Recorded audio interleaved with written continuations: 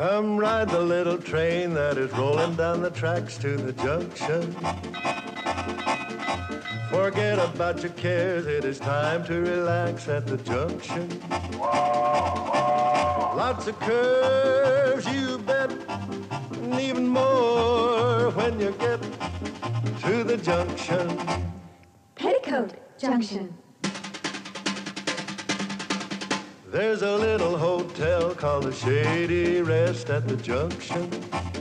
Petticoat Junction. It is run by Kate. Come and be her guest at the junction. Petticoat Junction. And that's Uncle Joe. He's a moving kind of slow at the junction. Petticoat Junction.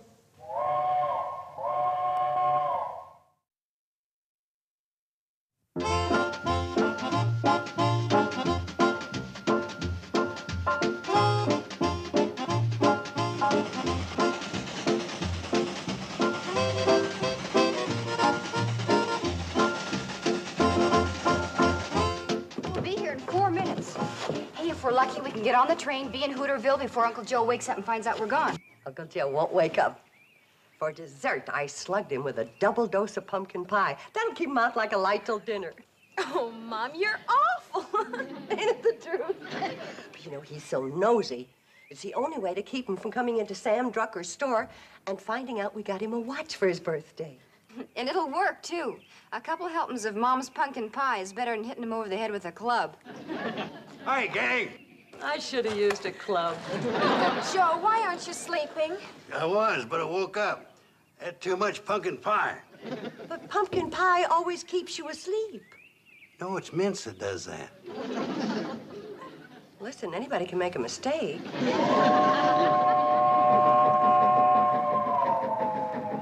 well, so long, Uncle Joe. See you when we get back. What do you mean, so long? This is buying day, ain't it? I'm going into Drucker's store with you like I always do. Well, uh, we're not going to buy much today, and the, and the girls can help me carry it. They're young and strong. Meaning I ain't? Well, well, of course not. It's just that you've been working so hard around here lately.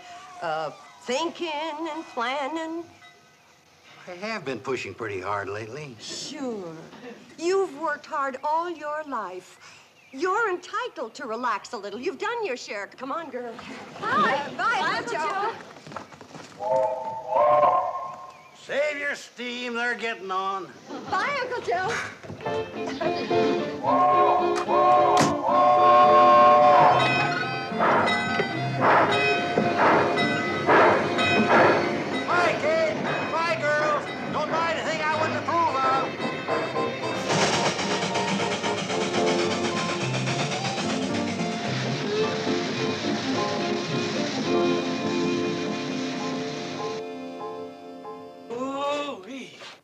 Jo Bradley and her mother and sisters. Ooh, they'll be coming by to pick up this watch for Uncle Joe's birthday. That Billie Jo's as pretty as the moon rising over Snively Swamp. What a beauty. Yeah, Real smooth movement, too. yeah. Oh, Mr. Drucker, it ain't right for you to talk that way about Billie Jo. I'm talking about this watch. And you keep your mind on your work. Hi, Herbie. Oh, hi, Kate. Hi, Sam.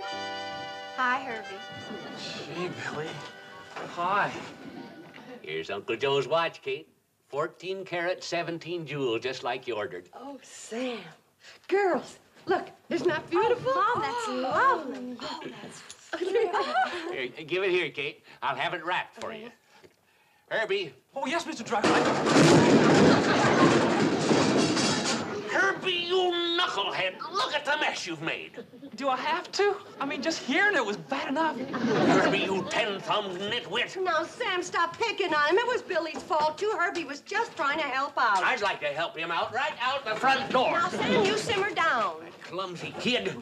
Sam, Herbie's a hard-working, fine boy. He just acts clumsy because he doesn't have any confidence in himself. He feels inferior. Well, who has a better right? Now, Sam, you see, you see how you're picking on him and knocking down his confidence? Let me talk to him. Maybe I can help. All right, Kate, but I'm warning you. When you talk to him, don't stand under anything loose. Lay off it, Sam.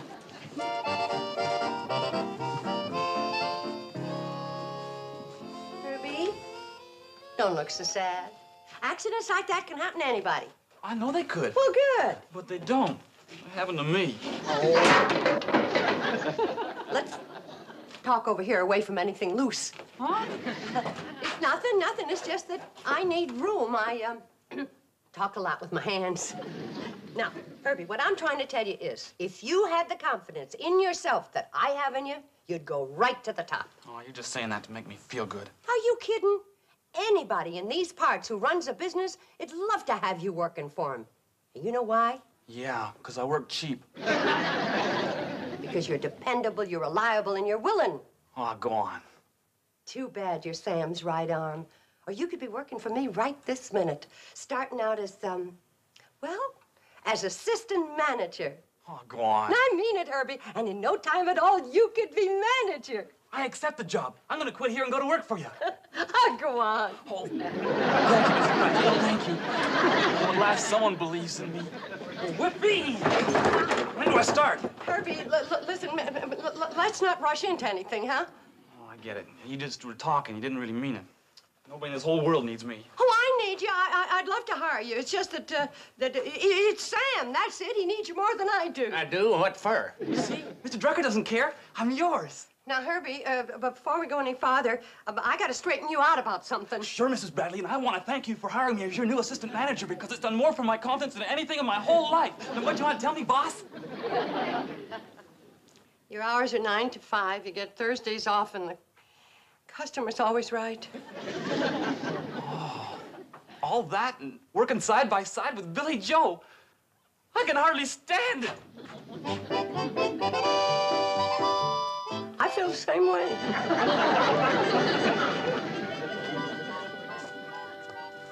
Thanks, Herbie. Merci, Herbert. Thank you, Herbie. Well, Mrs. Bradley, what room are you going to give your willing and dependable assistant manager? Who? Uh, me. Oh, yes, you. Uh, for a second, I didn't recognize the description. Um, well, I was thinking, uh, why don't you take uh, Uncle Joe's room and move his things into that big corner room that he's been wanting? Right, boss. I'll start moving the stuff right away. Uh, oh, uh, willing and dependable assistant manager. yes, boss? Uh, it's going to be a problem moving all those things with your arms full of groceries. So why don't you take them into the kitchen and take these into the storeroom? Oh, smart thinking. Oh, I can see I'm going to learn a lot working with other smart thinking people. Here, I'll take them all. Oh, you can? Here, Herbie. Thank you, Herbie. Here you go, manager. Take it easy. Mom, the next time you get an idea to build somebody's character, Don't? don't. Well, Herbie, my boy. Here, let me give you a hand. Gee, thanks, Mr. Carson. There you are. Thanks a lot. Don't mention it. Hey, you better get barreling it, Herbie. The cannonball run off and leave you. Oh, I'm not taking the cannonball. I'm living here now. Mrs. Bradley made me the new assistant manager of this here hotel. Well, congratulations, Herbie. Thanks, Say, boss. you're coming up. Hold on a minute. What do you mean, assistant manager? Oh, she says I'm bright and dependable and trustworthy, and I'm going far in the hotel business. Well, gotta get to the business of assistant managing.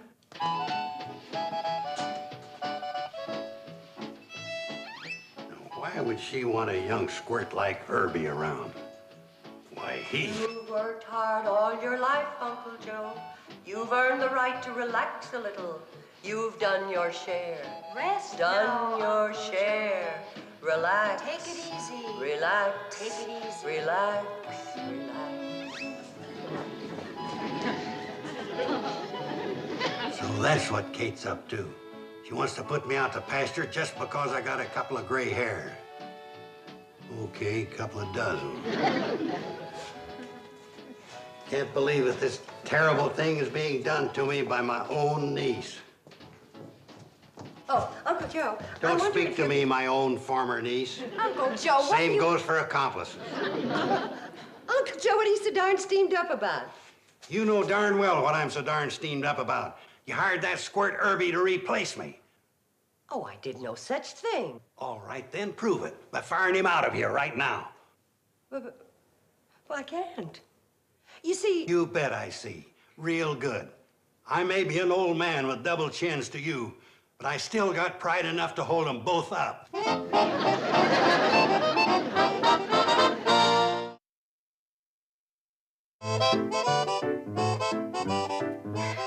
I can't even reason with Uncle Joe. He locked his door.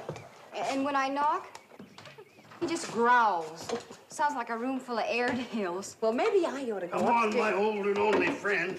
You and I are going to wait for the train down to the railroad tracks. Uncle Joe! I don't cotton to hanging around with a bunch of strangers. Wait, Uncle Joe. Uncle Joe, why are you carrying on so much about absolutely nothing? Well, it ain't my idea of absolutely nothing. You think I'm an old man. You're putting me out to pasture just because I got a few gray hairs. Oh, I'm not putting you out to pasture because you've got a few gray hairs. No? Then what are you putting me out to pasture for? Uncle Joe. This morning you went to town and you bamboozled me out of going with you. Yes or no? Well, yes. And when you come back, you brung that young squirt Herbie Bates with you and made him the new assistant manager of the hotel. Yes or no? Well, yes, but I can explain everything. All right. Then explain the part about not wanting me to go to town with you. That part I can't explain. Uh-huh. what about bringing that young squirt Herbie here and making him assistant manager? Oh, aha, to you. I gave Herbie a little job with a big title just to build his confidence. Oh? I wanted to make him feel important. That's why I can't fire him. Maybe I was a mite hasty with my conclusion jumping. Oh, well, then it's all settled. You're staying. Here, I'll take your Don't suitcase. let go. I can handle it. No, no, no, I'll oh, take Don't it. let Give it go. to me.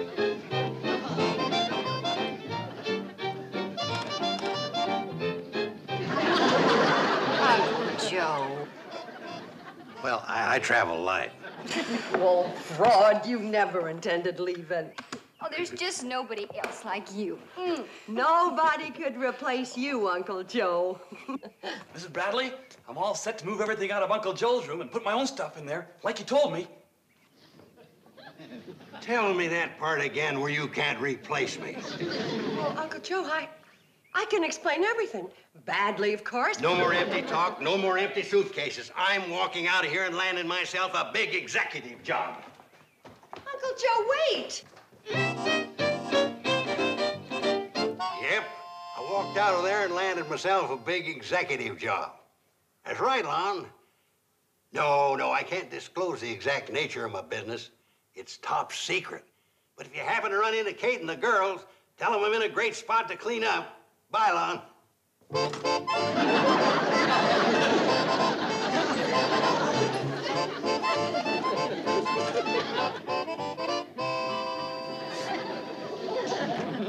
Evening. Uncle Joe! Oh, Uncle Where, Joe, Uncle you Joe? Uncle Joe? Uncle Joe? You look like Mr. Carmichael, the funeral director. No wisecracks, please. I want a little service. What do you think you're doing? I'm registering for a room, and I demand the same respect you give other paying guests. Paying guests? Cash on the barrelhead for the best room in the place. Oh, but Uncle Joe, you... That's Mr. Carson. Mr. Carson? Now you're talking. I've just accepted an important position as executive vice president of one of Hooterville's leading industries. you may think my registering here as a paying guest kind of strange. Oh, not strange. Ridiculous. The explanation is quite simple. I decided to be a guest here because it is convenient to my important executive work. And because the Shady Rest Hotel has always been famous for its fine management in the past. my key, give it to me. Boy, would I like to. Here you are, Mr. Carson. Sir. Thank you, Mrs. Bradley. Ma'am.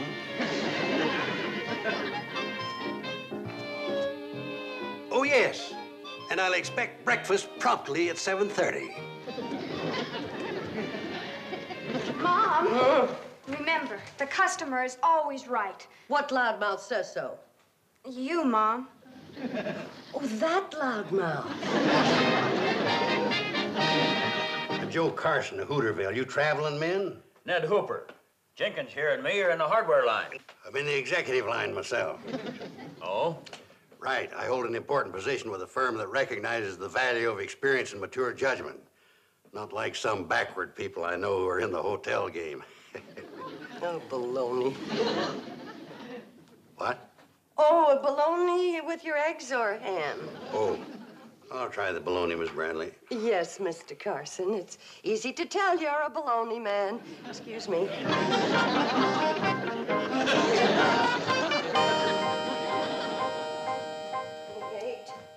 30. Hey, Mom, what's the matter? I'm counting to 10, so I'll lose the urge to kill him. But it doesn't work. Mom, how come he's acting this way? It's not like him. Oh, he just wants to prove to us what a valuable man he is and that we don't appreciate him enough. That's why he's staying here and bragging about his big executive job. A job that doesn't even exist. Oh, he's got some kind of job. He came home with money last night. My guess is that he's clerking in a drugstore or he's selling ribbons over a dry goods counter. Poor man. Mom, why don't we follow him to where he works and blow the lid off this whole thing? Oh, we couldn't do that on account of his pride. But we've got to do something. Honey, believe me, he's gonna get tired of pretending real soon. and Go back to being his own sweet, lovable self. Hurry up with my breakfast, or I'm reporting you to my colleagues at the Businessmen's Club. The service here is pathetic. Girls, we're going to follow Uncle Joe to where he's working and blow the lid off everything, including Uncle Joe. But how about his pride? Yeah, how about that?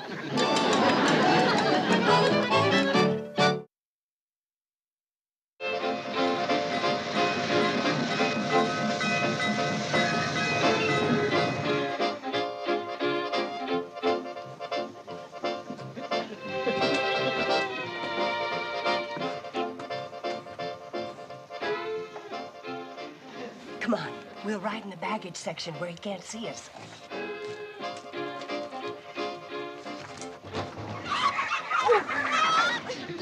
Hey, we forgot. It's market day. We'll have to ride with a carload of chickens. Oh, dear. Well, maybe we better wait till tomorrow. Oh, tomorrow'll be full of hogs. Well, don't just stand there. Start clucking.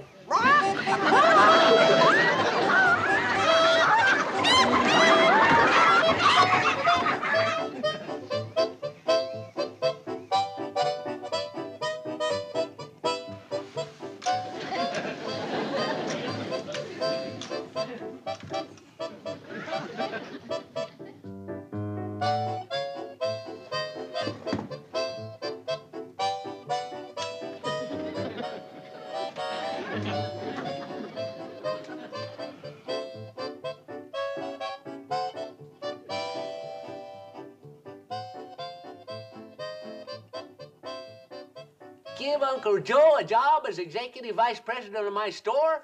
Well, Kate, there's a lot less painful ways of going broke. Yeah, but, but Sam, if you told him that he'd be a great help to you, then he could quit that horrible job at Luke's Eatery and not be humiliated. Remember, he's one of your oldest friends and you've known him for years. No, I, I can't do it. Uncle Joe is a fine fellow, but he'd just be in the way around here. Oh, I don't think I'd want to hire him, even if you threw in one of your girls. What's wrong with her girls? Yeah. Yeah. Any one of us could do a darn good job here. Darn right. I'll bet if I worked here, why business would double in a week. Especially among the boys. Okay, Billie Jo?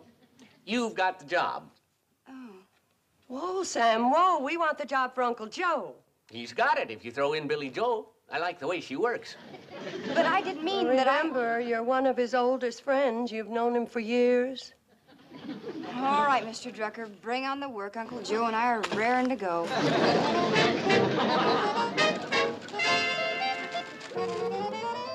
Sam, hiring me as executive vice president was the smartest move you ever made. Yeah, I've been thinking about that. I'll tell you, you won't even know this business when I get through with it. Yeah, I've been thinking about that, too. hey, what's this? A bill for $33.87 from McGonigal, the printer? Oh, that must be for those 20,000 advertising circulars I had printed. Part of my clever promotional scheme. 20,000 advertising circulars? There are only 3,000 people in the whole county. I said my scheme was clever, not perfect. Joe, since I made that smart move of hiring you as my vice president, my business has suffered four major disasters. Say, uh, you the fellas that put up that poster in the town hall about minding kids and livestock for free?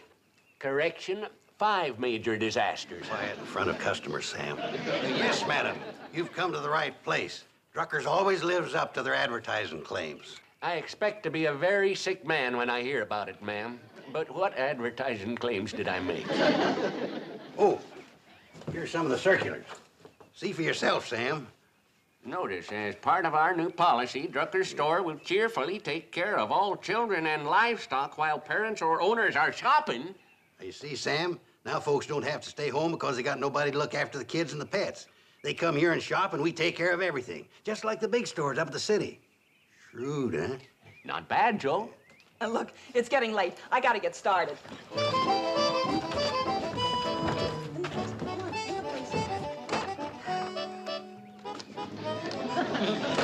What'll it be, ma'am? Now keep an eye on them and make sure they get fed proper. The dog's hungry. So are the kids. I'll be back in a couple of hours. Oh, wait a minute. uh, Where are you going? Shopping over at Cartwright's Emporium. Got a lot of bargains going on there today. Second, man, you got it wrong. We only watch kids and dogs if you shop here. It don't say that on that poster, mister. And you know what happens to stores that lies in their advertising. and Bosco only eats fresh ground sirloin. Elsie bites. Oh, no. Sam Drucker can't fire Uncle Joe. It'll wipe out his self-respect. But if he doesn't fire him, it'll wipe out Mr. Drucker's bank account. And Mr. Drucker looks so pitiful when he cries. Well, so will Uncle Joe when he fires him. Now, there must be another way we could handle this thing. Hi. Let me think. Oh, Billie Jo. Hi. Oh. Harvey, watch out!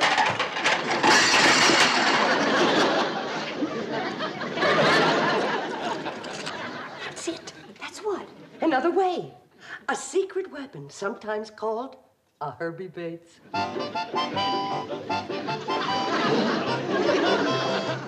And the hotel can also use some of them fancy gourmet foods I've been reading about, like uh, caviar and pickled octopuses.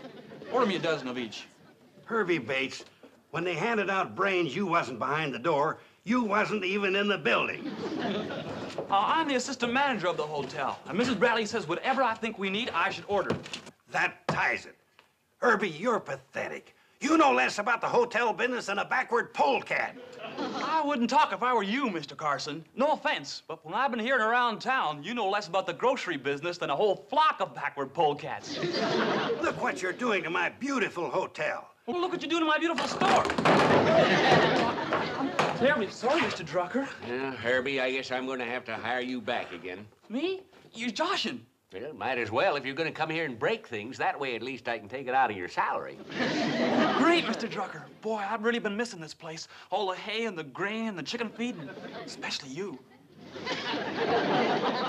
Would you like your old job back, Uncle Joe? We sure need you. Yeah, you bet you do. I haven't made up my mind whether I want to get back into the hotel game. Oh, please, Uncle Joe, oh, nothing's yes, wrong. come Uncle on, Joe. Uncle Joe. Well- at home. That depends Depends on what. on whether Sam can spare me. How about it, Sam? Can you spare him? Could George Washington spare Benedict Arnold? Huh? Uh, I say it'll be a struggle, but with Herbie here helping me, I'll try to scrape through. Quiet, quiet, everybody. Uh, to top off the homecoming celebration, the girls and me would like to present you with this fine watch in honor of your birthday. Happy birthday. If you like it. Open it up. I want to see if you like it. Hurry. Come on. Hey, girls. Gee, thanks for the beautiful watch. It's just what I wanted. You shouldn't have done it. Considering all the trouble it caused, you're right. I shouldn't have. Congratulations, Mr. Carson. And a very birthday. Welcome back to the grocery game, Herbie.